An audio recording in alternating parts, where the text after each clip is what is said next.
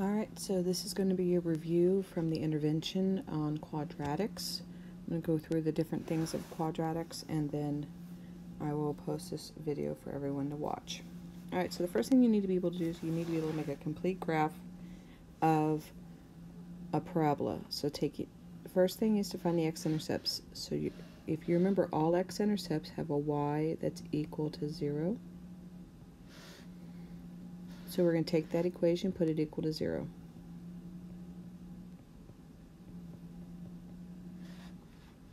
All of these are going to factor, so make sure you factor it.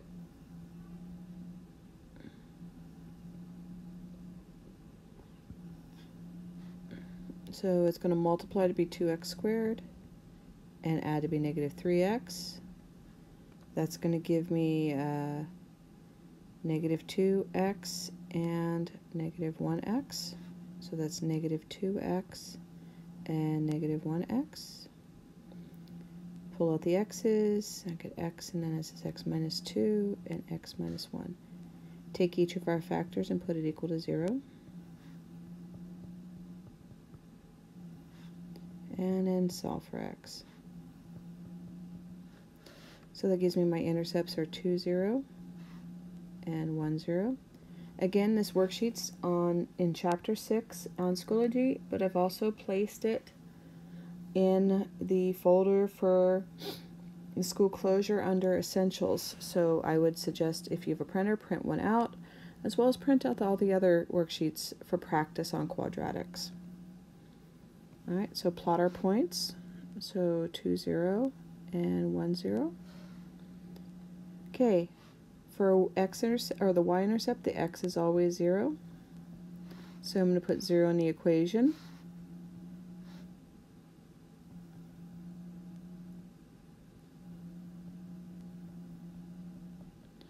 And you're going to get y equals 2. While our equations are written in this form, the last number is always going to be your y-intercept. Okay, so I'm going to plot that point. Now remembering that a parabola is symmetrical. So because that point, that y-intercept is 1 to the left and 2 up from my x-intercept, I can do another mirror point going the opposite direction, going to the right and up. So I know there's another point right there. The last thing we need to find is the vertex. So to do the vertex, the first thing is to average the x-intercepts. So that means they're going to take x is equal to 2 plus 1 divided by 2. So that's 3 over 2, which is 1.5. Again, remembering that our vert the vertex is in the middle between the x-intercepts. And now I'm going to put that equation, or put that 1.5 into the equation to find the y. So y is equal to 1.5 squared minus 3 times 1.5 plus 2. And I'm going to pull up my, my calculator. I'm going to put it over here on the side. And I'm going to go 1.5 squared minus 3 parenthesis 1.5 plus 2. And that gives me negative 0.25. Alright. Move this over. Don't forget to write your point. Okay, so I'm going to take this and I'm going to put, and so I know you can't figure out exactly where negative 0.25 is, but if you go right in the middle and just put a little point right below there, and then connect your points, and there's your, your parabola. Alright, now Solve the following quadratic equations. You must use each method at least once and show all your work. So there's our three methods. There's quadratic formula, factoring, and completing the square. So we start always looking to see if we can factor something. But to factor, it's got to equal 0. So I'm going to minus the x. And I'm going to get 2x squared plus x equals 3 minus 3 on both sides. And 2x squared plus x minus 3 equals 0. Try our diamond problem to see if it factors. Take the first and the last and multiply them together. and the 1x goes here. Well, I know that there's two numbers that multiply to be negative 6 and add to be 1, and that would be 3x and negative 2x. So because I can do my diamond problem, I know it factors. So I'm going to make my box. Put the 2x squared here, the negative 3 here, and then I can put the negative, the 2, ah. The negative 2x and the 3x. It doesn't matter where you put them, it'll still work out. So out of the bottom row, I can take a 2x, and that's going to give me x minus 1. Going vertically, I can put plus 3. That's about 3. Now do x minus 1 equals 0, and 2x minus 3 equals 0. Yeah. Solving, move the 1 over, I get x equals 1, and move his over, 2x equals 3, so x equals 3 over 2. All right, now let's do the next one. All right, start again with your diamond problem.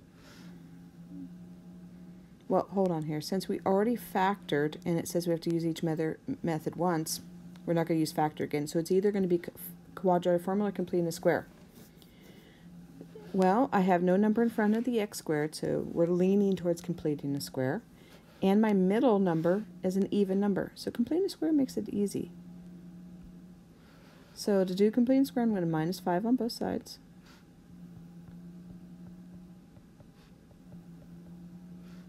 Make my box. Put x squared here. Remember you split the negative 12 into the two the other diagonal equals negative 5. So out of the bottom I can take an x and then I'm going to get x minus 6 and then going vertically. I'm not done until I complete the square. So negative 6 times negative 6 is 36. And remember that this number is always going to be positive and we have to add it to the other side. Take my parentheses. Squared equals negative 5 plus 36 is 31. Now square root both sides.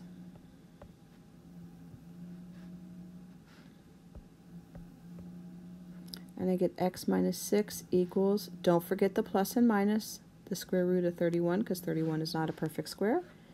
And then move the 6 over. So x equals 6 plus or minus the square root of 31. And there's our answer for that one. Okay, last one which means we have to do quadratic formula. But we should realize we're going to do quadratic formula anyway because the middle number is an odd number, and it just makes it harder. So my quadratic formula is, remember, it's x equals negative b plus or minus the square root of b squared minus 4ac all over 2a. If you can't re remember the formula, go back to that YouTube video, just type in quadratic formula song You'll see it and just listen to it. Now, so my a, so it's ax squared plus bx plus c equals 0. And I can't fit the 0 on there. Okay. a is the number that's in front of x squared. Well, there's no number there. So a is equal to 1. Don't get, put any x's in there. b is going to equal to negative 7, and c is equal to 14. Substitute the numbers in and simplify. So x equals negative of b, which is negative 7, and always use parentheses, please. Plus or minus the square root of negative 7 squared minus 4 times 1 times 14 over 2 times 1. Okay, now we just simplify. Negative and negative is a set positive 7 plus or minus. And here I'm going to pull up my calculator. All right. Now I'm just going to type in, see what happens when I, watch what happens when I put the square root in there. All right, second square root, and watch what happens.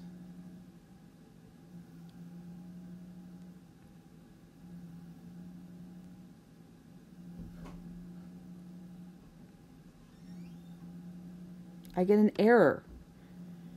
So the reason is, is it says non-real answer. Well, that means it, I'm going to end up with a negative in my square root. So I can't.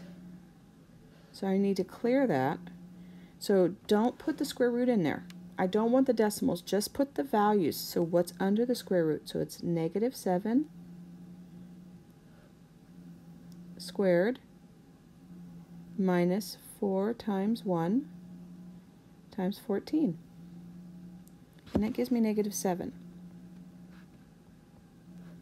Over 2 times 1 is 2.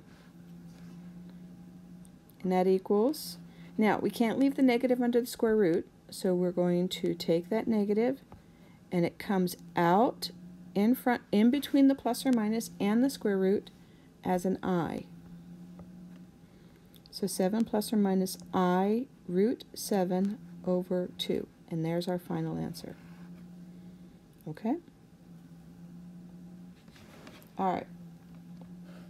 We're pretty much done with the calculator now. All right, so this next part is factor. You guys are getting a really big problem understanding the difference between solving and factoring. Let me talk to you about it. Solving in problem two, everything has an equal sign. Factoring, there's no equal sign, so you can't solve it.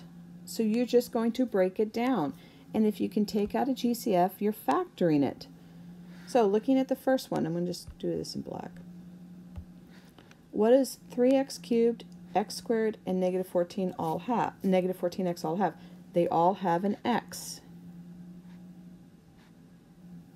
And so I take that out and I get 3x squared minus 1x minus 14. Okay, now we do our box. And I put my box inside of, of the parentheses because I want to remember that that x is still there. I don't want to forget it. So 3x squared minus 14. 3 times negative 14 is negative 42x squared and negative 1x. So I have to figure out what multiplies to be negative 42 and adds to be negative 1. And that's negative 7x and positive 6x. Put those in the parentheses. Now we just factor. Out of the denominator, out of 3x squared and negative, and negative 7x, I can take out an x. And that's going to give me 3x minus 7. Going vertically, what times 3 gives me 6, and that is a positive 2. So there's x plus 2 and 3x minus 7. There's my factors, and I'm done. Once I have no more squared terms, I am done. Okay?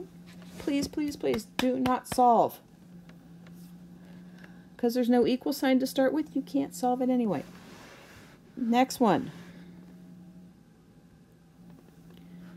Okay, G this time they both have an x, but they one's 75 and one's 25. I can take out a 25 out of both of them, so I'm going to take a 25x out. 75 divided by 25 is 3 x squared divided by x is an x. Negative 25 divided by negative divided by 25 is negative 1, and x divided by x is done. So now, looking at this one, I don't have any more x squareds. I'm done. It's factored. You don't have to do more. Factoring is just breaking it down. As long as you break it down, you're good. Okay, this last one, I'm going to show you guys a new way to do it. Um, the way I showed you in classes, there's more than one way to do everything. So, first of all, look for a GCF. Okay, there's no x on the 9, so I can't take out an x. But 9 go does go into 81, so I'm going to pull out that 9. And that's leaving me with 9x squared minus 1. And you guys tend to freak out when you see this one. You still have a squared term, so it means you have to try to factor it. So the thing about this one is the fact that 9 is 3 times 3. So this is going to be 3x and 3x. Negative 1 is 1 and negative 1. These are perfect squares because they're the same numbers. Um, except for the 1 and negative 1. They're, they're opposites, but the 1 itself is a perfect square. So to make your parentheses, I'm just going to go 9 and I'm going to put my two parentheses. I'm going to take the 3x here. I'm going to take this 1. That's a positive 1, so put plus 1. Take the 3x here and bring down the negative 1. And there it's factored. Okay? Alright, that's it for factoring. Let's go to, you can skip number 4. We skip that in, and now let's do the finding the equation. First step is find your x-intercepts. And it doesn't matter if it's a table or a graph. X-intercepts, the y is 0. So that's this one and this one. And all I need are the x values. So x equals negative 3 and x equals 4. Move everything to one side. So move to the left. So I'm going to add 3. x plus 3 is equal to 0 minus 4. x equals, or I'm sorry, x minus 4 equals 0. Now we're going to write it as an equation with an a. So y equals a times x minus plus 3 and x minus 4. Now we need to find our a value. We're not done because what that a value is going to do is it's going to map it to the rest of the points in our table. So pick a point.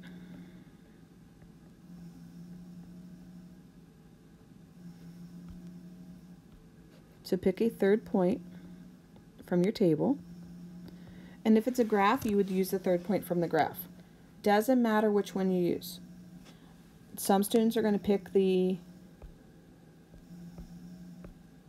the y-intercept because it's easy to work with 0. It doesn't matter. So I have 0, 48. This is x and this is y.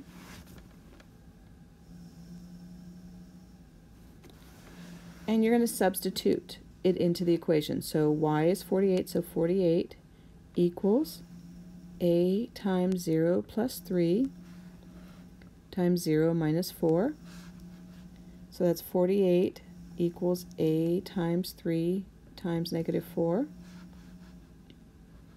Multiply those together and I get 48 equals negative 12a divided by negative 12. And a equals negative 4. And then the last step is to write the equation. So y equals negative 4. So put that a in place, or that negative 4 in place of a, and then just put those factors in. There's your equation. Last one. Same thing, start with the x-intercepts. So my x-intercepts are negative 4 and 1.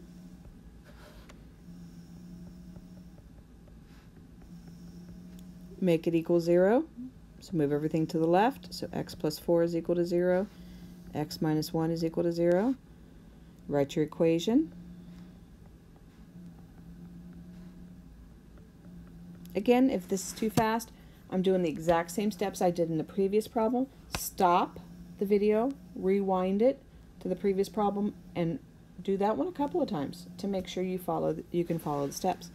Now the thing is, the third point, some students are trying to use like this one way over here. Don't. Use the one they give you. It give you this one. Use it. So put 12 in for, at, for y equals a times 0 plus 4 times 0 minus 1. Use any point that they give you. All right? Don't make it harder for yourselves.